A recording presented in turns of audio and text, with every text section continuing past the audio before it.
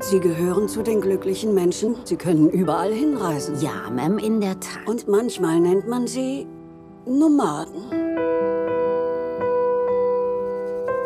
Meine Mom sagt, Sie sind obdachlos. Ist das wahr? Nein, ich bin nicht obdachlos. Ich bin nur hauslos. Ist nicht dasselbe, habe ich recht? Ja.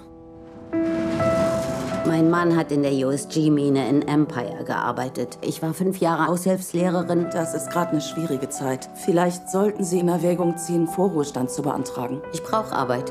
Ich arbeite gern. Eins, zwei, drei, vier, fünf, sechs, sieben, acht. Willkommen im Badlands Bar. Das, was die Nomaden machen, haben die Pioniere damals auch gemacht. Das Loch muss größer werden, damit das Seil passt. Fern lebt eine amerikanische Tradition. Der kommt gleich durch die Scheibe. Wie sagte mein Dad so schön, was nicht vergessen wird, lebt. Ich habe vielleicht zu viel Zeit meines Lebens mit dem Erinnern verbracht.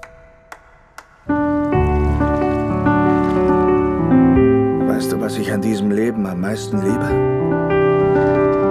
Es gibt keine endgültigen Abschiede. Ich habe hier hunderte von Menschen getroffen. Und ich würde mich nie endgültig verabschieden.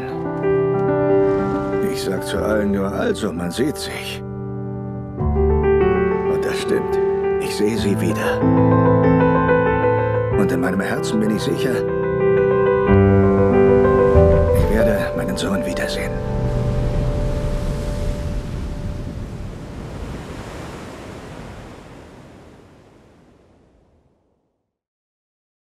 Ich will diesen Film einfach sehen. Der sieht gut aus, der hat viel Kraft, da steckt viel Leben drin, es ist eine tolle Musik und damit war es der neue Trailer zu Nomadland, den uns Walt Disney voraussichtlich ab dem 8. April 2021 in die Kinos bringen wird. Das ist zumindest noch der aktuelle Kinostarttermin, der angesetzt ist, aber diese sind ja aufgrund der aktuellen Situation auch immer mit Vorsicht zu genießen. Mit Frances McDormand in der Hauptrolle hat er den Oscar gekriegt für ihre saustarke Performance in Three Billboards Outside Ebbing, Missouri. Hier soll sie noch mal stärker sein. Auf diversen Filmfestivals Festivals schon Preise abgeräumt, wird hier die Geschichte von Fern erzählt. Der ist im Leben über mitgespielt worden.